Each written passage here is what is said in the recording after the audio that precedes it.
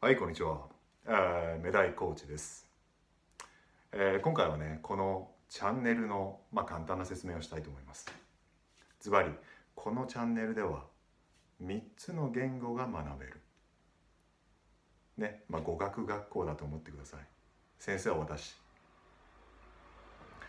で、えーまあ3つのあの言葉をね勉強するまあ例えば日本語中国語もしくは英語の時にマスターするのにはすごくポイントがあります。すごく大切なポイント。2つのポイントがあります。1つ目。難しいことはいらない。もう本当にシンプルで簡単な単語をたくさん聞いてたくさん話してそしてたくさん失敗する。OK? たくさん聞いてたくさん真似して話してたくさん失敗する。本当にシンプルな単語でいいから。2つ目。例えば言葉を練習するときに教科書だけ見るとかなんか書いて覚える単語覚えるっていう考え方一回なくしちゃいましょう。ね。喋るときに感情を使って喋ってみてごらん。表情表情。表情を作って喋ってごらん。これがすんごい大切。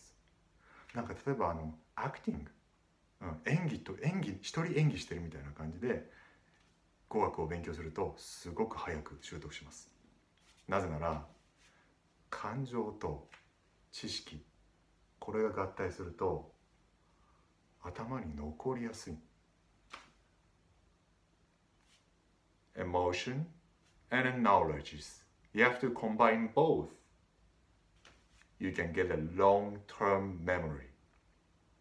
印象深い忘れにくくなるこれちょっとやってみてください私は3つの言語が喋れるだけではなくて、えー、と今演技のあのコーチ演技の先生もやっておりますなのでまあこのあのチャンネルではとにかくいろんなあみんなにはね、まあ、その3つの言葉を使っていろいろこういろんな内容をシェアしていく中で少しでもみんなが何かこう語学言葉を喋れるようになる手助けができればなと、えー思っております。